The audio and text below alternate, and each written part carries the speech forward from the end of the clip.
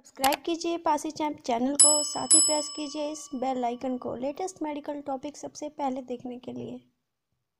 Intubate क्या होता है और उसको करने से पहले आपको किन किन चीज़ों की ज़रूरत होती है, ये टॉपिक आप लोगों के ही रिक्वेस्टेड पर मैं बना रहा हूँ। तो वेलकम बैक गाइस, मैं हूँ आपका दोस्त और होस्ट सनी कुमार, और आपका हमारे यूट्यूब चैनल पर एक बार फिर से बहुत बहुत स्वागत है। आज डिस्कस करेंगे एंटूबेशन के बारे में। साथ ही इसको करने के लिए आपको किन किन चीज़ों की ज़रूरत होगी। तो ज़्यादा टाइम वेस्ट नहीं करते। लेट्स डाइव इनटू इट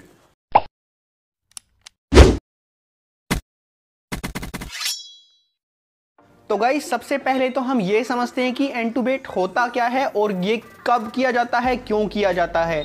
तो गाइज़ एंटूबेट एक प्रोसीजर है। ये उन पेशेंट्स के ऊपर किया जाता है जिनका रेस्पिरेटरी सिस्टम फेल हो जाता है या कोलैप्स हो जाता है। मतलब जो पेशेंट सांस नहीं ले पाते ना, ठीक है?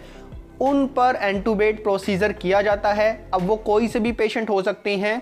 जैसे किसी का भी रेस्पिरेटरी सिस्टम है वो फेलियर हो जाए जिनको सांस ना आ रहा हो पॉइजन के कारण ये हो या फिर कोमा की स्टेज हो सकती है या फिर किसी का एक्सीडेंट हुआ हो हेड इंजरी हुई हो आ, किसी भी तरह का कोई भी पेशेंट होगा इस जो सांस ना ले पा रहा हो उसका जो नर्वस सिस्टम है वो फेल हो चुका हो और सांस ना ले पा रहा हो तब पेशेंट का एंटूबेट किया जाता है। ओके तो इस प्रोसीजर में क्या किया जाता है? एक नलकी होती है, जिसे एंडोट्रैकिया ट्यूब बोला जाता है। ओके ईटी ट्यूब शॉर्ट में बोलते हैं।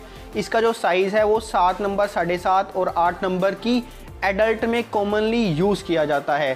तो जो ये ट्यूब है ना, ये मुँह से ट्रैकिया तक जाती है, ठीक है? और एक प्रोसीजर होता है लैरिंगोस्कोप वगैरह यूज़ करते हैं, और फिर ये जो ट्यूब है, इसकी प्लेसमेंट करते हैं मुँह से मुँह के थ्रू ट्रैकिया तक प्लेसमेंट करते हैं। और ये जो पूरा का पूरा जो प्रोसीजर है, इसे एंटूबेट बोला जाता है। ठीक है? इस प्रोसीजर को करने से पहले आपको कुछ तरह की चीज़ों की ज़रूरत होती है। आपको पहले से ही प्रिपेयर करना पड़ता है। और जो ये चीज़ें हैं ना, इसकी एक ट्रे बनती है जिसे एंटूबेट ट्रे बोलते हैं। एंटूबेशन ट्रे भी बोल सकते हैं या फिर एंटूबेट ट्रे बोलते हैं। ओके तो स्पेशली ये जो ट्रे है, ये इमरजेंसी वार्ड में और आईसीयू में स्पेशल तैयार होती है। वार्ड में अब कंपलसरी होती है कि आप रखें या ना रखें, लेकिन आईसीयू के अंदर और इमरजेंसी में ये ट्रे होती ही होती है। एचडीयू रूम जो होते हैं, इनमें भी होती है, लेकिन स्पेशली इमरजेंसी में और आईसीयू में होती ही है। क्यों होती है? क्योंकि इमरजेंसी में इमरजेंसी केसेस आते हैं। जो ज़्यादातर ऐसे ही पेशेंट होते हैं जिनका रेस्पिरेटरी सिस्टम जो है, वो फेल हो जाता है।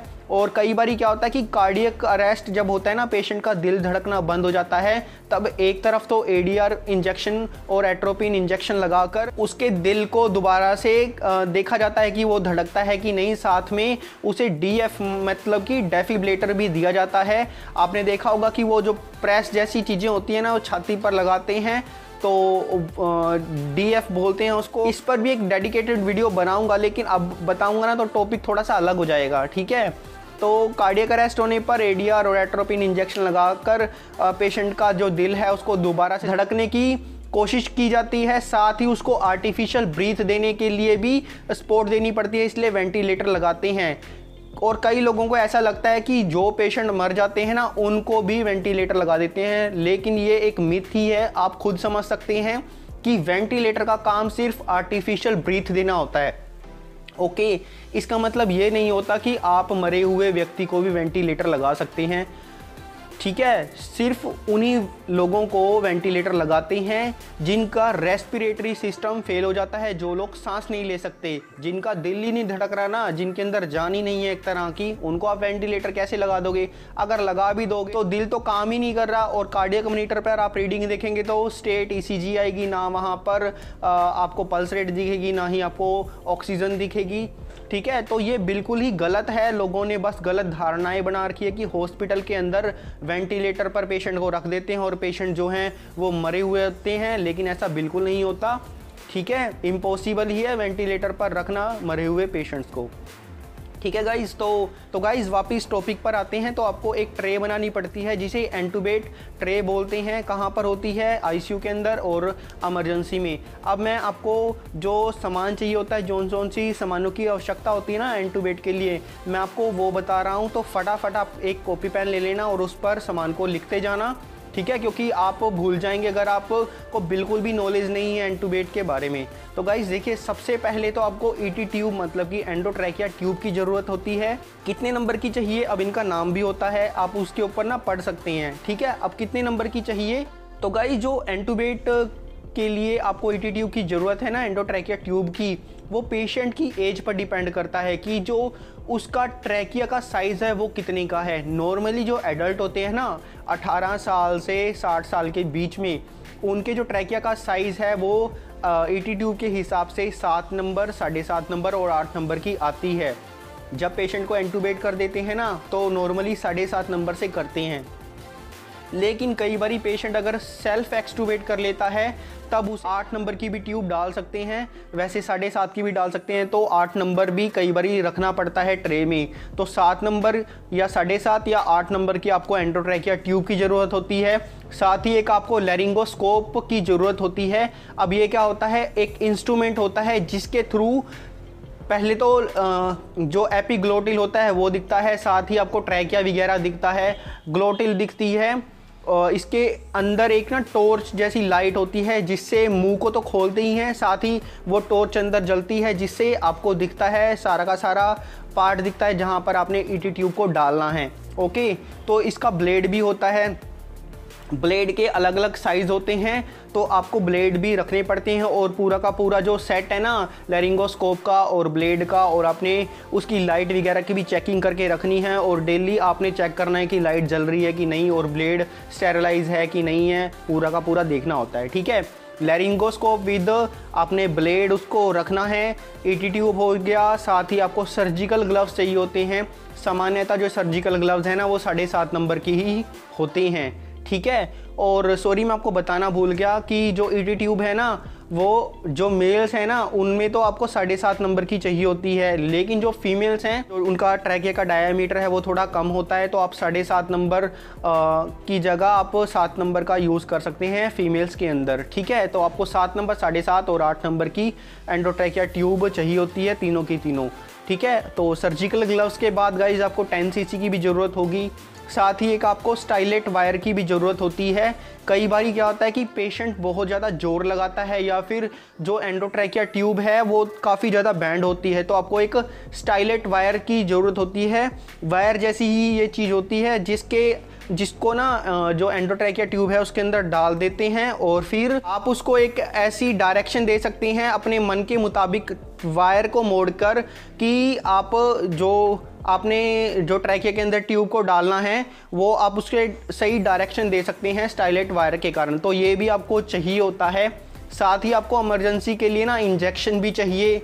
ए डी आर एट्रोपिन चाहिए होता है। और सीडेट करने के लिए इंजेक्शन मिडाजोलाम और इंजेक्शन प्रोपोफोल चाहिए होता है। इंजेक्शन बूट्रम भी चाहिए आपको। डेक्सामिथेसोन और इंजेक्शन एफकोरलिन चाहिए होता है आपको। ठीक है गाइस तो ये आपको इंजेक्शन चाहिए। साथ ही जब पेशेंट सीडेट करते हैं ना सीडेट करने पर तो कोई दिक्कत नहीं है, लेकिन सीडेट से जब पेशेंट वापस आता है तो पेशेंट फाइट करता है। तो उसके लिए आपको माउथ पीस भी चाहिए होता है, ताकि पेशेंट मुँह को खोला रहे। तो माउथ पीस का काम क्या होता है? एक तो है कि आप ओरल सक्शन कर सकते हैं माउथ पीस के साथ में। साथ ही क्या होता है कि जब पेशेंट फाइट करता है ना, और जब आप सक्शन करते हैं, तब पेशेंट मुँह को बंद कर लेता है। तो माउथ पीस से क्या होएगा कि उसका मुँह हमेशा खुला रहेगा, और आप इजीली सक्शन कर पाएँगे ओरल तो कर ही सकेंगे। साथ ही ईटी e ट्यूब के अंदर का जो सक्शन है ना, गले का, जो आप सक्शन कैथेटर डाल के करते हैं तो वो भी इजीली हो जाता है। ठीक है? तो आपको माउथ पीस भी चाहिए।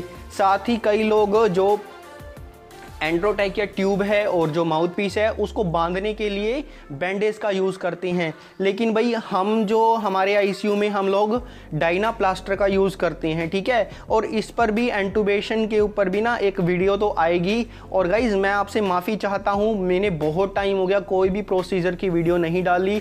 और आप लोगों की बहुत सारी रिक्वेस्ट आई थी कि आप कैथेटराइजेशन के ऊपर वीडियो बनाओ और आ, कैसे राइस ट्यूब को इंसर्ट करते हैं उसके ऊपर भी आप वीडियो बनाएँ और इंटोवेशन के ऊपर और वेंटिलेटर के ऊपर तो बहुत सारी रिक्वेस्ट आई हैं लेकिन गाइज़ टाइम ही नहीं मिलता है और मैं कोशिश करूँगा कि इन सब टॉपिक्स पर भी मैं वीडियो बनाऊँ ठीक है?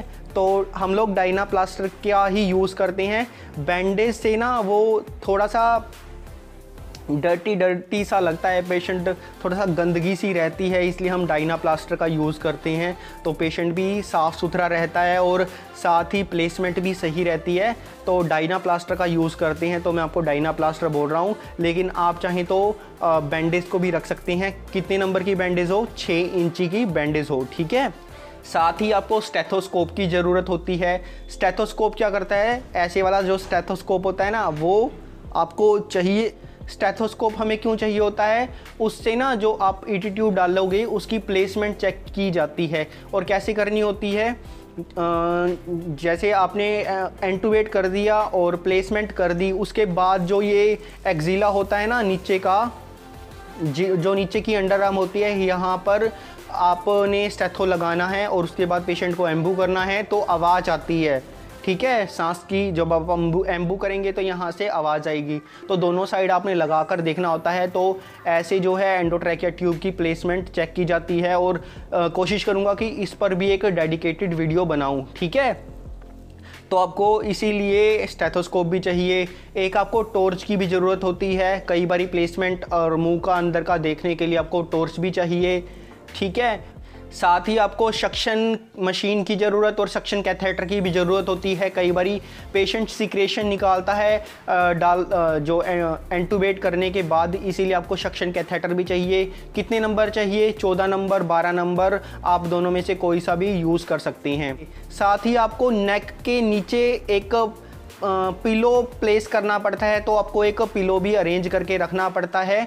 तो वो तो ऑफकोर्स होता ही है बेड्स पर एमरजेंसी में या आईसीयू में, लेकिन आपको उस टाइम एक पिलो भी चाहिए होता है तो आप पिलो का भी अरेंज करके रखें ओके ओके गाइस तो एक IV set N S five hundred M L साथ ही गाइस आपको 10 सीसी की ज़रूरत होती है, और N S five hundred M L I V set cannula 20 number का आपको चाहिए होता है अब वो किस लिए चाहिए? जब भी आप इंजेक्शन प्रोपोफोल देते हैं या फिर आप मिडाजोलम देते हैं ना, तब आपको आईवी फ्लूड है ना, वो पूरी तरह से फ्लश करना होता है पूरी स्पीडली में। तो आप आईवी सेट से फ्लश करेंगे एनएस को तो वो अच्छे से सीडेट होता है पेशेंट पूरा का पूरा, ठीक है? साथ ही आपको ऑक्सीजन का अरेंजमेंट करके रखना पड़ता है। साथ ही आपको वेंटिलेटर की भी सेटिंग करके रखनी है। जिस मोड पर भी आपने लेना है S I M V mode पर लेना है या फिर जिस किसी मोड पर भी लेना है उसकी आप सेटिंग करके रखें और वेंटिलेटर को स्टैंड बाय पर आप रख दें। साथ ही गाइज़ आपको एम्बू बैग भी चाहिए होता है। पूरा का पूरा आपने सेट करके रखना है, साथ में मास्क को भी अरेंज करके रखना है। तो गाइज़ ये सारी चीज़ें आपको चाहिए ही चाहिए होती हैं एंटूबेशन प्रोसेस के लिए। तो आज की वीडियो बस इतनी ही थी कि एंटूबेट के लिए किन किन चीज़ों की ज़रूरत होती है। साथ ही मैंने आपको छोटा सा इंट्रोडक्शन दिया है। तो आई होप मैंने आपको सारी जानकारी दे दी हो, लेकिन फिर भी अगर आप कोई, किसी भी तरह का कोई क्वेश्चन पूछना चाहते हो तो आप हमें कमेंट कर सकते हैं। साथ ही गाइज़ बहुत सारी वीडियोस आने वाली हैं हमारे चैनल पर, इसलिए हमारे चैनल को प्लीज़ सब्सक्राइब कर लें। और किसी भी तरह का कोई भी डाउट होना तो प्लीज़ कॉमेंट ज़रूर कर लेना, क्योंकि सभी जानते हैं कि हम इंस्टेंटली ही हमारे जितने भी मेंबर्स हैं, उनको रिप्लाई देते हैं। तो गाइज़ मैं मिलता हूँ आपसे अगली वीडियो में एक इंटरेस्टिंग टॉपिक के साथ। तब तक के लिए स्टे हेल्दी स्टे फिट